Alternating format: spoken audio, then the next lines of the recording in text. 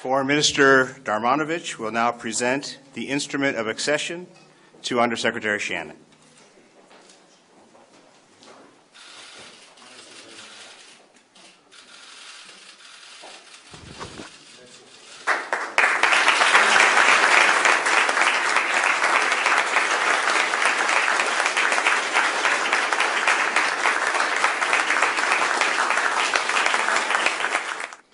Danas smo postali formalno dio najmoćnijeg i najuspješnijeg saveza u istoriji, koji odlučuje o najvažnijim pitanjima današnjice.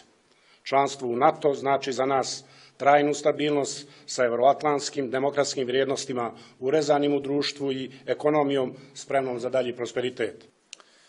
Today, Montenegro joins NATO with a seat at the table as an equal, with an equal voice in shaping our alliance, and its in independence guaranteed.